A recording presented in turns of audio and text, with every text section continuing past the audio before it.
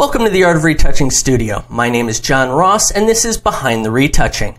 This particular image was commissioned to me by Photoshop Creative Magazine for issue number 125.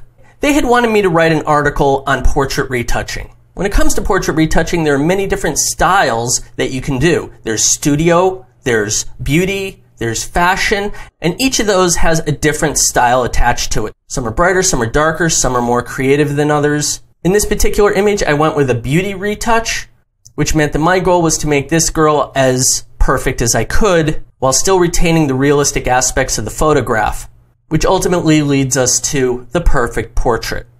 So let's get started all the way back at the beginning. When you drag and drop a raw image into Adobe Photoshop, it actually opens it up inside of Camera Raw first. Now inside of Camera Raw, we can make a variety of different changes, both global and targeted. However, in many cases, I simply use it as a way to balance out exposure inside of an image. When we look at this image, you can see that it is in fact overexposed. There's some brighter areas as well as sharper contrasts that's happening due to the lighting. Now on set, the photographer was trying to go with one look, and so he's playing with the lighting and doing whatever he wants. But now, in the retouching side, it is my job as the retoucher in order to balance out this image and correct any flaws.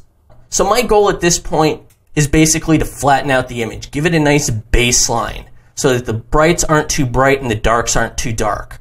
And I achieve that by adjusting the exposure, shadows, and blacks. By bringing down the exposure so that it takes that brightness out of the image. But I compensate for that by brightening up the shadows. So I am lightening the areas that I just darkened with the exposure. And once I lighten that up, it actually flattens out the image. And so I'll drop down the blacks to add contrast back into it. And here you can see this is the before and the after. Before and after. It comes off as a little bit dark, but I will adjust that inside of Photoshop. If this was the first time I was opening the image inside of Photoshop, down here I would have a button that says Open Image. You can alternatively hold down the shift key and that's going to give you open object, which is how I work because it's going to create a smart object for me. And the smart object inside of Photoshop will ultimately allow me to go back into Camera Raw and make further changes if needed. If you hit open image, it's going to flatten the image and give us a pixel based background. But however you prefer to achieve it, you would click the button and open up inside of Adobe Photoshop. Because I work off of smart objects, Photoshop is going to retain the name that came from the file as opposed to just naming it background. And you could also tell it's a smart object by the funny little icon down here.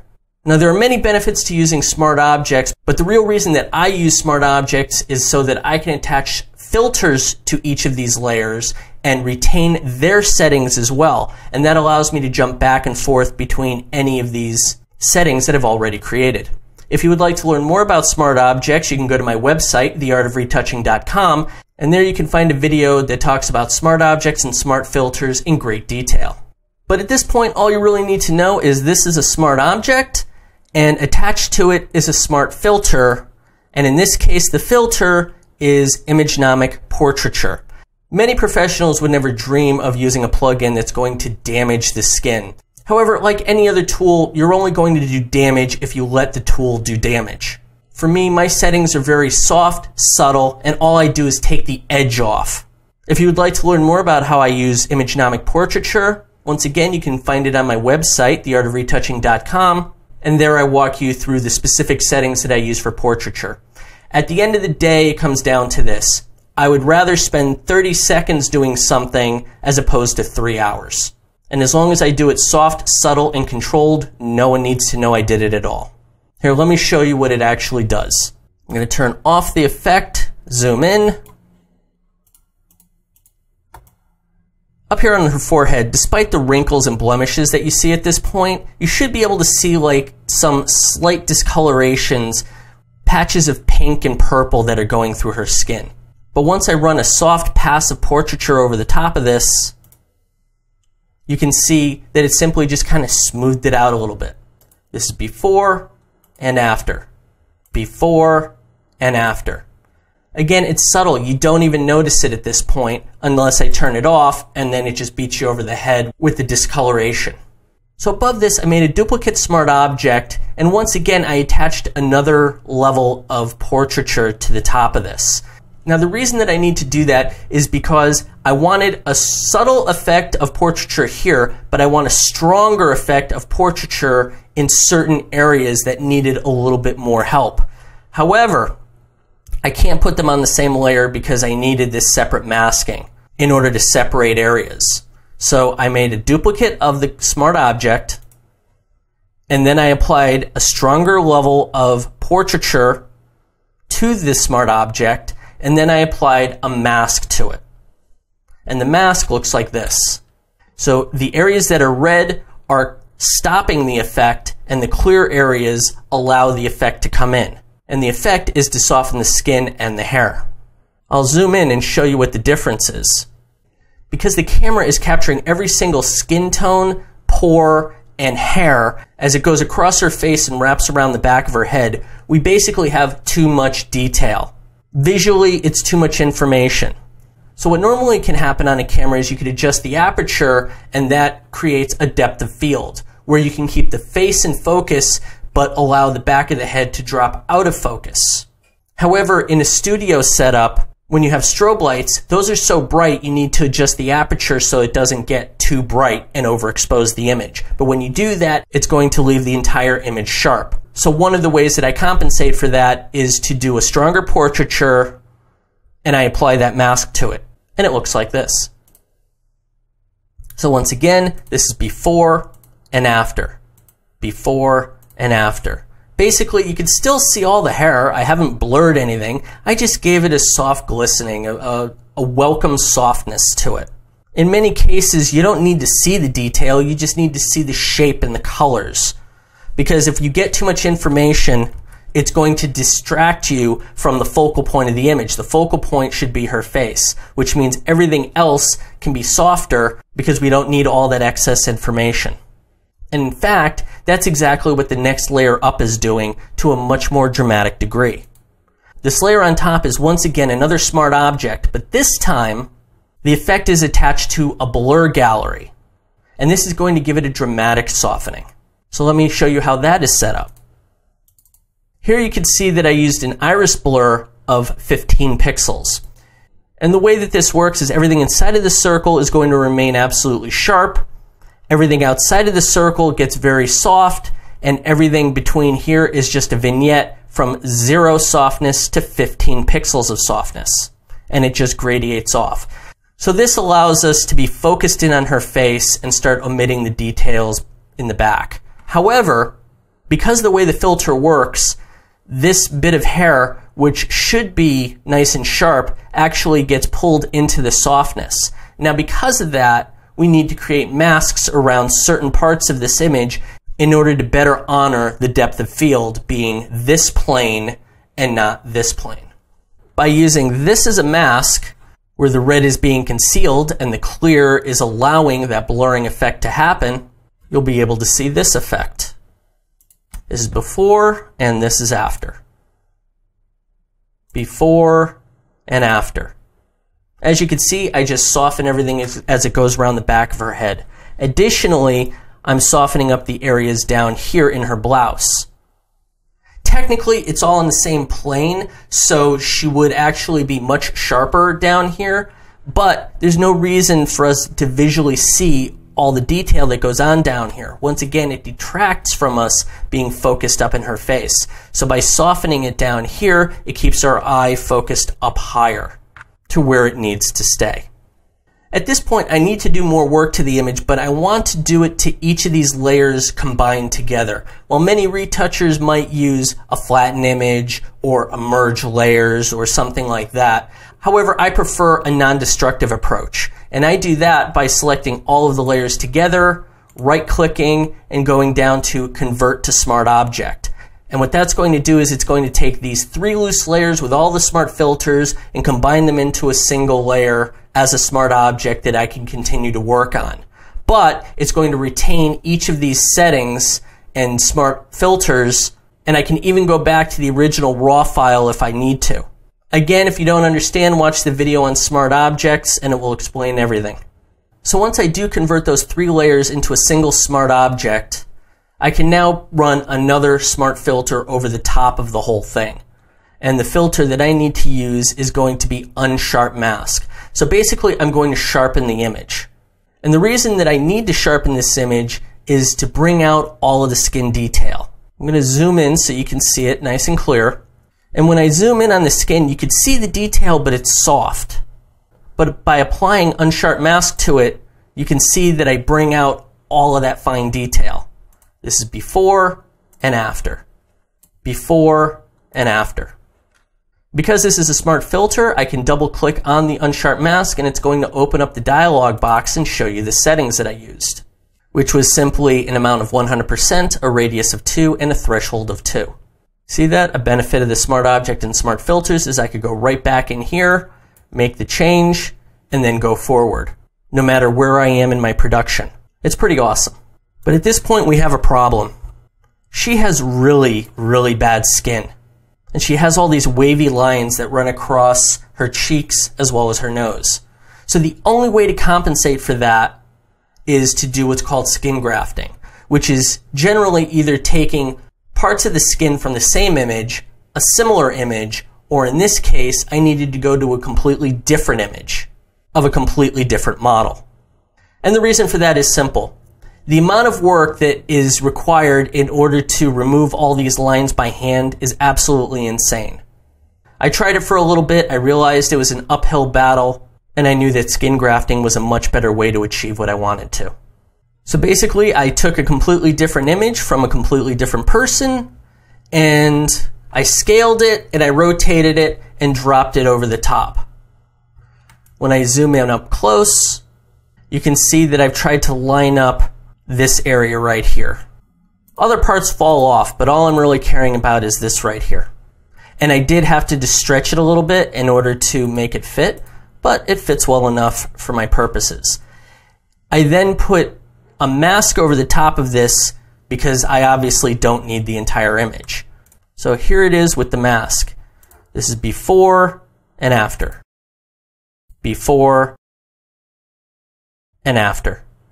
You can see that we have a discoloration to the skin, and that's expected. It's from a different person on a different day with different lighting. But we will compensate for that discoloration by using selective color, where I add 16 yellow into the skin tones. It's subtle, but it is there. But the big move is going to be curves, where I darken up the lights as well as the midtones. And that gives it a much better match.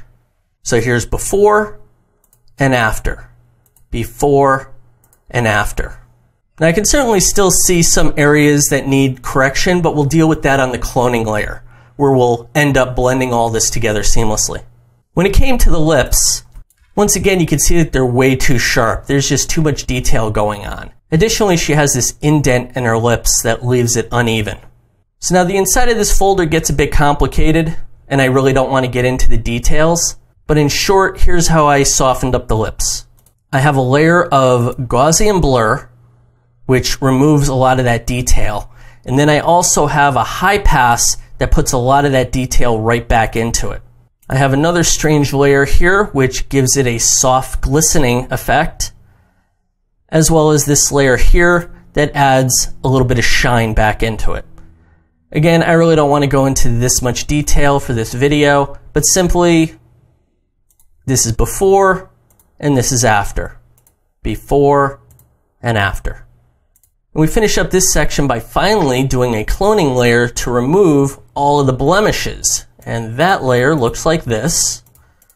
As you can see, I do many little small brush strokes in order to achieve the look, and I do my best to honor the curvature of the face. But we really need to worry about all these potholes as well as excess lines that are on her face. But all that gets taken care of with a cloning layer. This is before and after. Before and after. Now the two tools that I'm doing my cloning with, uh, one of which is the healing brush tool, which is a pretty amazing tool. It allows us to grab a source and paste it into a destination. But it matches the color, the tone, and texture as best as it can and mixes the pixels together that gives us a nice seamless effect. The other tool that I would use is a standard clone stamp, but that one is more of a one-to-one match between the source and the destination. So it's a bit harder to use than the healing brushes because the healing brush is a lot more forgiving. When I come over to the other side of her face, you can see this is before and after. Before and after. And even up here, I just adjust the blending a bit better. So here it was a little bit of abrupt change in there, and here it's just smoother. Now once again, like before, I need to do more effects onto this image. So rather than flattening things, I much prefer to select all of these layers, right click and go convert to smart object. And now that I've converted this image to another smart object, I can once again put more filters onto this and continue the work that I'm doing based off of the smart object as a single entity instead of many loose layers that it really is. But I can still retain the editability of every single layer that I created all the way back to the original raw file. It's pretty amazing. If you don't know how this works, definitely go check out my video at theartofretouching.com. So the next filter that I apply to this is Liquify. Now try and remember, just because you have a filter like Liquify that allows you to push and pull the pixels as if they were putty, doesn't mean that you need to go crazy with it. You don't always need to be grabbing everybody and squishing them in and making them thinner and thinner. Sometimes it could just be used for small, subtle changes. And in this case, the subtle change is this. This is before, and this is after. Before and after. Yeah, you see it right there. Just that little bit right there. I just kind of push it in. See, you don't have to go crazy with this stuff. Okay, moving on. This blouse is incredibly bright, and no matter what you do, it's very distracting. So I use this layer here, which is a hue saturation with a desaturation of 23 in order to tone down that bright orange. Before and after. Now this does two very specific things. One, visually, it just helps stop your eye from being pulled down because it's no longer a dominating factor within the image. And the second thing it's doing is putting in a lot more detail back into the subtle areas down here so that you don't see this, rather you're going to see this. See that? See how much more detail gets put back into the image? Because this is going to be printed on a press, it's going to be converted from RGB, red, green, and blue, into CMYK, cyan, magenta, yellow, and black. Basically, it's a much smaller color mode than RGB is. What that ultimately means is this bright orange is never going to print. It is going to be converted to something like this anyway. The difference is that I am in control of it at this point and I tell it how far to go and what color to be, as opposed to letting some auto convert thing on the tail end of the process make this conversion for me. Because who knows what we would have come up with. The next set of layers up is going to be dealing with the skin. We're going to be working with light sculpting, otherwise known as dodge and burn. Now there's many different ways to be doing dodge and burn. There's not just one way to do it. There's several of them. This is the way that I did it. The first thing I do is add more yellow into the skin tones because basically she's looking a little pink, so I add some yellow to put some color back into her skin. Before and after. I also adjust the exposure on her face. It looks quite severe at this point because we haven't looked at the rest of the light sculpting layers, but simply this is a first step in order to brighten up her face. Always keep in mind that brights come forward and darks go backward. So by making her face brighter, it immediately catches your eye and keeps you focused in on it. Because right now it is the brightest part in the image, which is often what you want. Just be careful not to make it too bright. Right now it looks too bright, but we're not done yet because we still have to even out the rest of these shadows in her face. And that comes from the layers inside of this light sculpting folder. Inside of here, I have two curves. The first curve is a darken curve, and it basically brings the midtones straight down, and that's going to darken the entire image. And we have another layer here called lighten. And in this case, I'm going in the other direction, so now I'm lightening the entire image. So without masks, darken is going to darken everything, and lighten is going to lighten everything. Now, because I'm making such a severe shift to the image, I want to point out that I changed the layer blend mode from normal to luminosity. Because here's the difference. Here's normal, and you can see how it changes the color as opposed to luminosity, which handles it quite differently. That this is normal and this is luminosity. And then once again, here's your lighten layer, and the lighten layer is also set to luminosity because this is normal, which gives you a color distortion. Now keep in mind that these severe changes for both of these layers are being controlled by the mask, and it's the mask that controls how much of that bright or darkness gets entered into the image and where it gets entered into. I'm going to turn off the masks. So now here's going to be the darken mask. And all the clear areas is where I'm darkening up the image, which are more than likely the brightest areas. So here's the effect. You can see this is before and after. Before and after. It's pretty subtle, but it definitely added a little bit more drama and intensity to certain areas of the face. When it comes to the lighten areas, this is the mask. And I'm basically trying to lighten up this darker shadow that's going on down the side of her face. And I achieve that with this.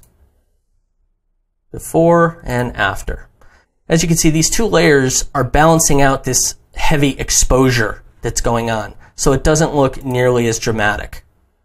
And overall, this is the skin move. This is before and after.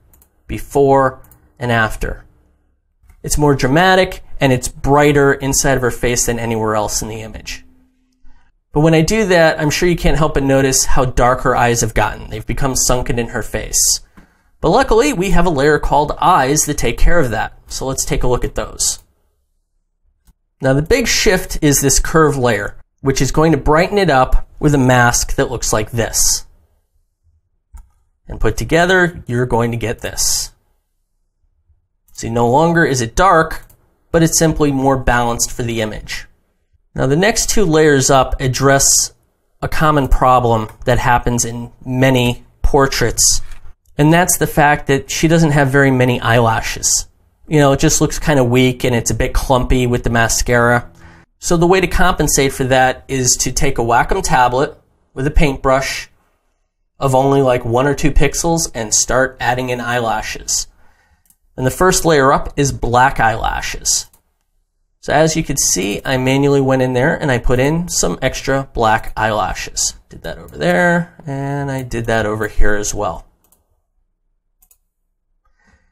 Now, arguably, this starts looking a little bit dark. I understand that, so then we come back in with white eyelashes. And by doing that over the top, it compensates for that constant darkness. And it gives it a little bit more of a broken up pattern. Before and after. This is before any of the eye work and after. Before and after. As you can see, all I'm really doing is softly and subtly bringing back different areas of lightness to compensate for the darkness. In no way have I flattened out her face. In no way have I lost any of the details of the pores in her skin. Absolutely not. But I'm pushing back the severity of what we started with, which was very contrasted lighting. And I'm balancing it out and adding the lights and darks where I want them to be. The last few layers I put into a folder called OA, which just means overall. Now, the changes that you're going to see aren't specifically overall. I simply put it on at the end and said this is the last of it. But inside of here, we have two layers. We have a contrast and we have a lighten. I'm going to start with lighten because I want to show you something special in contrast. But the lighten just does that. I mean, simply all I did is just lighten it. Nothing special going on. But contrast, if you can look at this mask, you can see that I added contrast across certain areas. Now, the goal here was that I'm adding a brightness just to these targeted areas here. So I'm lightening the skin a little bit. I'm lightening certain areas of the hair, but then I also did this.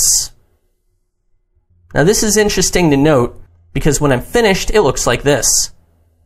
And I'm sure you can see exactly what happened. Running off the side of her face, we have this discoloration. When you look at it up close, you really don't see it, which is how I was working. I didn't realize what I had done. Luckily, before I was finished, I did see this halo effect that I accidentally made and I corrected it before it went out the door to the printing. If I had missed this, I would have been so upset with myself. But luckily, I did see it and I was able to compensate for it and I didn't make that mistake. And in this case, I'll simply go to my brush and cover over it. Now you can see the final intended effect was before and after. Before and after. And I did this specifically because when I finished at this point, I felt that the image still looked a little bit muddy. It was a little dark. And when it goes to press, I know it's going to get darker on top of that. So I brightened the image up and called this image done. And so now here you can see that we have the before and the after. So overall, you should be able to see some clear improvements to the image from what it was out of the camera versus how I finished up working on the image. If you'd like to watch more behind the scenes videos just like this one, or if you would like to watch videos about Photoshop in general, please go to www.theartofretouching.com where you can find more tips and tricks to make you a better photo retoucher.